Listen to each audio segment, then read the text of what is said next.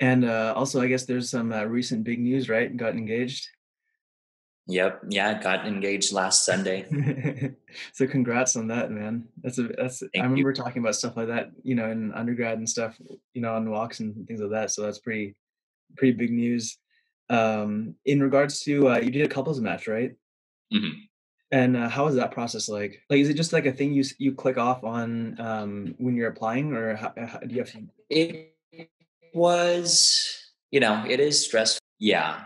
Yeah. So you, it's like an extra $25 to like match as a couple. You, when you apply through the NRMP website to register for the match, um, that's, that's all you have to do. And then when you're going down your rank list, um, you basically each create a list individually. So like, like for us, like if number one was New Mexico, we would both put that. Number two, we would do Arizona and Mhm, so on and so forth. So technically you're still submitting individual lists but then mhm, when the algorithm runs it, um, it it makes sure you both match at that same ladder. If not, it moves down to the next one.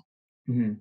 And do you feel like it increases your chance of getting into a spot, um, or do you feel like it doesn't really uh, make a difference, or maybe makes it uh, more challenging, or is it more beneficial? Like if one applicant has like a really high stat to boost the other one up, how do you feel um, it kind of plays out?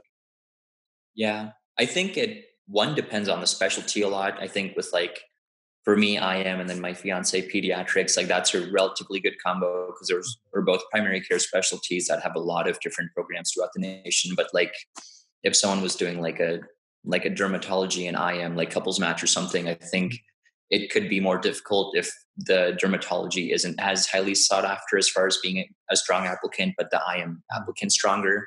Um, I think you would want you would want whoever's applying for the more competitive specialty to be more competitive, obviously. So then the couple has a higher chance.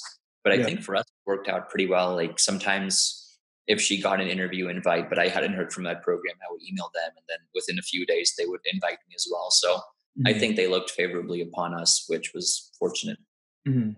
How is it like, um, dealing with relationships in med school? And then, um, uh, I know we talked about, uh, relationship stuff before med school, a little bit. Uh, how, um, how is do you recommend having, like, a a medical partner? Because some people seem to think that it could be beneficial because you can share experiences and, like, commiserate on things, things like that.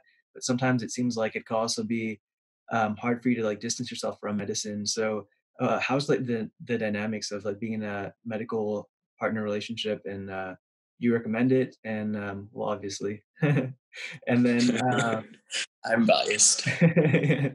a little bit.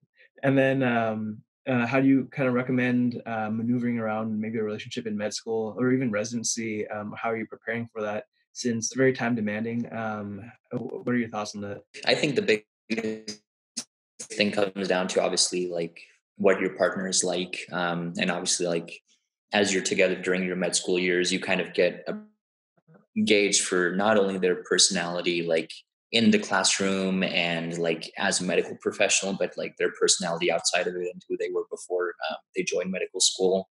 Uh, so I would look for, you know, how compatible are you guys just based on what you do in your free time? Can you completely disconnect and just enjoy an evening off together and have a great night, like watching a movie you guys have been meaning to see or going out and enjoying a new restaurant? And I think I think it speaks to the strength of the relationship if you can kind of tune it out as much as possible. Obviously, it's not 100% doable. Like, you guys are obviously like in the same class or maybe like one class above or below each other. So, like, med school talk's going to seep in just because, you know, it's a big part of your life. But I think, um, I think just keeping an eye out for, um, for how well your relationship works outside of just the field of medicine itself, as far as like what your hobbies are, um, you know, what your families are like, and the personal values you have that just extend beyond your professional careers. And then I think I think one of the biggest pros, obviously, is like since you're both so time constrained, then you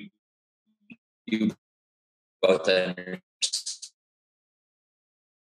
understand that you know maybe instead of having like five or six nights like you know the other partner isn't you know questioning anything or um, like not as happy because they think you know you're not devoting your time to them so i think moving forward in residency it'll be good to hopefully coordinate our calendars and like pin, once we have our schedules for the month you know just pick like one or two nights at least a month that we'll commit to just having it be just the two of us and um, kind of go from there. So the relationship gets the time it needs